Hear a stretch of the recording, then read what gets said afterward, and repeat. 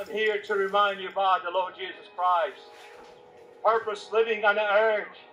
His great work on the cross for you and for me. Christ who calls us to reconcile. Christ who forgets, he decided to forget all our sins.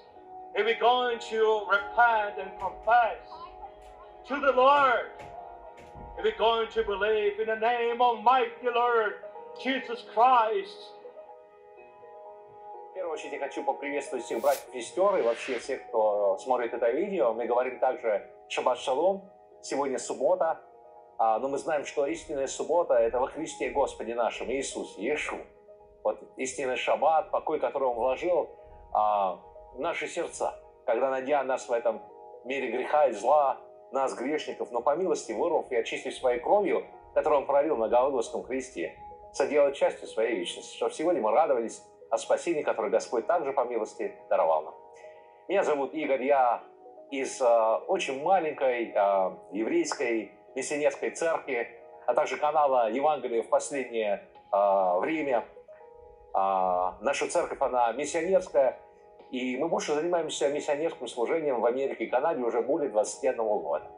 Просто проповедуем Евангелие. Евреям и неевреям. Евангелие о Господе Иисусе Христе. Всем людям так как Господь направляет нас на улицах или публичная проповедь, или в домах престарелых, или среди бездомных, или в магазинах, или на бензоколонках, или в любом месте. Наша цель – возвещать Евангелие. Мы не можем спасать людей, мы не можем а, вместо кого-то покаяться, даровать милость покаяния людям, но можем рассказать людям о Господе Иисусе, который, да, спасает и милует, о Его любви, да, о Его призыве, что все мы покаялись и веровали в Евангелие, особенно в это а, последнее время. И как написано а, Римлянам 1.16, это мой один из любимых стихов, «Я не стыжусь благовествования, ибо я не стыжусь благовествования Евангелия, потому что оно сила Божия к спасению всякому верующему, во-первых, иудею, а также и елен».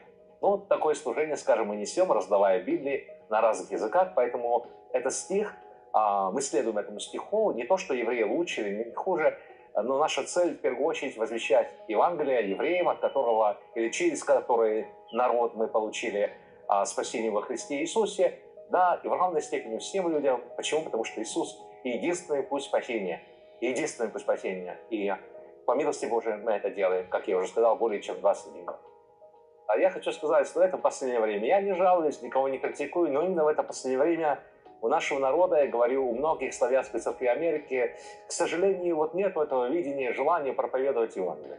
Я понимаю, что со мной могут поспорить и сказать, вот наша молодежь делает то, наша молодежь делает это. Я понимаю, что кто-то вылетает в Мексику, кто-то вылетает в Африку, и это нужно делать. Слава Богу за эти церкви. А, к сожалению, их тоже мало. Но я просто обращаюсь вспомнить церкви о городах. Допустим, вот церковь Чикаго. Помните Чикаго? Вы живете здесь. Вы хотите быть благословенны не в Израиле, а вы хотите в Америке и Чикаго. Поэтому молитесь за свои города. Благословляйте э, мэра города. Хоть ваш мэр города лесбиянка, а, к сожалению, совершенно неверующий человек, но за ним все равно нужно молиться. А, молитесь больше за президента Трампа. Я сейчас говорю о, в церквях Америки. А, то мы видим эти проблемы, хватаемся за голову и спрашиваем, почему эти проблемы? Потому что мы не молимся. И нам все равно о людях, которые живут в наших городах. Вот мы спасены, наши родственники, и то не все, к сожалению. И вот мы как бы, как бы только о себе. Но Господь, Он говорит, что мы молились из-за врагов даже, благословляли. Поэтому мы должны думать не только о себе, но о людях. Для них нужно находить время, а его никогда не хватает. Я просто призываю церковь вспомнить наше предназначение во Христе. А Иисус шел, Он находил с терпением, шел бедных, несчастных, наркоманов, проституток, разных, э, Он шел, искал. И мы должны искать, если мы ученики Иисуса Христа. Мы должны молиться по тем дарам, которые, да, мы имеем от Духа Святого. Но мы должны это делать. Поэтому обращаюсь к церквям Чикаго, обращаюсь к любой другой церкви в Америке. не только в Америке. Проповедуйте в своих городах. Придет день это делать. Это последнее время. Особенно в Америке, когда еще свобода, пускай относительно, но она. Мы знаем, вот карантин с короной связано. Один день закрыли все церкви. Сейчас немножко открыли, но в некоторых штатах опять закрывают. Мы же понимаем, что это последнее время, но пока еще и свобода. Вот мы сами были свидетелями, как нас остановили сегодня в Millennium Парк. Но, слава Богу, закон все же есть, не согласились впоследствии с нами, мы продолжили проповедовать Евангелие. Но придет день, когда будут запрещать, когда будут бить, когда будут сажать в тюрьму и убивать. И здесь, в Америке, это все будет. Я никого не пугаю. Я просто хочу сказать, да будет у нас желание, которое в сердце Бога. А в сердце Бога желание, чтобы вы покаялись, пока еще благодать не закончилась, распространялась и в Чикаго также. Когда кто-то делает что-то для Господа, всегда будут препятствия. Тем более, когда возвещается спасение во Христе. Особенно в это последнее время. Мы знаем, что и о дьяволе сказано, что он как рыкающий лев в последнее время, чтобы украсть, убить и погубить. Поэтому дьявол всегда будет препятствовать, чтобы возвещалось Евангелие. Это, в первую мы очень должны понимать, что когда мы проповедуем Евангелие, да, это делаем мы по-разному, потому что разные дары Духа Святого. Кто-то может посвятить свою жизнь, стать полностью миссионером, кто-то может полететь в какую-то страну, кто-то может в своем городе это делать, кто-то может делать на полное время, кто-то это может просто делать иногда. Скажем, по возможностям, хотя вот это желание проповедовать Евангелие должно быть сердце у нас всегда, если мы рожденные свыше христиане. Но всегда будут препятствия. Что я хочу сказать? То есть мы 21 год более в служении, и скажу, что большинство людей отвергают Евангелие. 99.9 отвергают. Ну что из того? Есть те, которые каются. Мы радуемся за одну душу. Почему? Потому что Библия говорит, что великая радость на небесах, ангелы радуются, когда и один грешник кается. То есть мы должны радоваться и одной душе. Но Бог послал нас возвещать. То есть спасение, оно только от Бога зависит. Только от Бога. Как и милость покаяние. Поэтому наша цель – возвещать. Я хочу просто вдохновить людей. Сегодня много говорят о каком-то последнем возрождении. А я не верю, потому что Библия говорит, что в последнее время не будет возрождения, как возрождения целых народов или стран.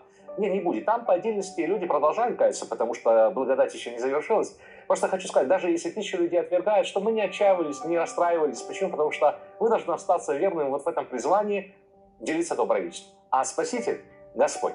Поэтому если вы пойдете, и тысячи людей вам говорят нет, или десять тысяч, не унывайте. Мы это все проходим. Продолжайте дальше оставаться верными, любите людей, молитесь за них и желайте им спасения. И вы увидите покаяние. Может быть, одного, может быть, больше, чем одной души. Но это великая радость, потому что Бог и для Господа цена и одна душа. Все мои вылеты были канцелированы, карантин, штаты были закрыты, церкви были закрыты, поэтому я не мог проповедовать в других городах, в других штатах. Но мы все равно, хоть и карантин, но Бог-то никогда не закрывал на карантин небеса. То есть служение, оно продолжалось. Пускай мы не могли выйти на улицы и проповедовать публично, но мы проповедовали в Макдональдсе, в Starbucks Coffee Shop, в магазинах, в парках, а, то есть а, через окошечко, на беззаколон, как, ну, хотя бы вот так. И люди брали Библии, да, и даже через YouTube у нас четыре человека покаялось, а один мусульманин, так что Бог нас благословляет. То есть всегда есть возможность проповедовать Евангелие. Закрываются ли города, принимаются ли законы, а, которые ограничивают а, свободу слова. Я говорю сейчас об Америке. А, всегда все равно есть возможность проповедовать. Да, не можем выйти, допустим, публично в центр города или куда-то еще, но мы можем это делать, как я уже сказал, без заколонки, в Coffee, в Макдональдсе, то всегда это возможно. Как и друзьям, родственникам и так далее, кто не знает Иисуса А у нас они есть, к сожалению. Ну, в первую очередь мы просим молитву, потому что молитва это самое главное, это больше, чем все что угодно. Это молитва Господу, потому что у Господа все ресурсы, благодать и милость, и Господь, Он продолжает благословлять нас и хранять нас. А, пожалуйста, молитесь, у меня семья, у меня четверо детей, у меня больные дети, двое детей больные, очень много лет, ну как, ну, года уже есть. Мы проходим тяжелое очень время с женой. А, да, это очень большая проблема, но Бог все равно дает нам благодать, Бог дает вдохновение, воодушевление. Ну, это самое главное. Но если вы захотите поддержать эту миссию, а, то а, вы можете с нами связаться. А, наш канал, ну, во-первых, называется «Евангелие в последнее время» на русском языке, на YouTube. А личный наш email на английском а, надо набирать буквами hebrewchristian at yahoo.com. Если Бог расположит вас поддержать, напишите нам на этот email, а, мы вам дадим информацию, допустим, у нас есть PayPal, а, у нас есть Cash App, есть аккаунт в Chase Bank миссии. Если Бог расположит, будет возможность, смотрите уже сами, захотите, можете поддержать. И а, материально. Пусть Бог благословит. И в заключение я еще раз хочу поблагодарить вас за то, что я знаю, что многие из вас молятся за нас. Я уже говорил, что у нас есть группы, специальные группы молитвенные, как церкви баптистской в городе Детройте, и есть баптистская церковь, где а, пастор Тимошенко в городе Миннеаполисе. есть братья и сестры из многих пятидесятнических церквей и других, которые молятся у нас, и мы благодарим вас. Поэтому в заключение а, я хотел бы просто помолиться, пускай Божья милость, благословение, радости, чтобы не было в нашей жизни, как бы мы не понимали ситуации, которые происходят. Может, кто-то проходит долины смертной тени, и все равно наша надежда, упование на Бога – это благословение.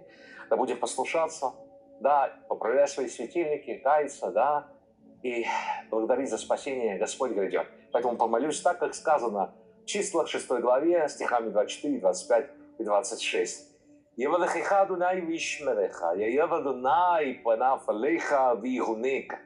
יישא אדוני י"ה ו"ה פניו עליך, ישם לך שלום, ישם לך שלום, ישם לך שלום, בשם ישוע המשיח, אלוקינו, אדוני, גואלנו.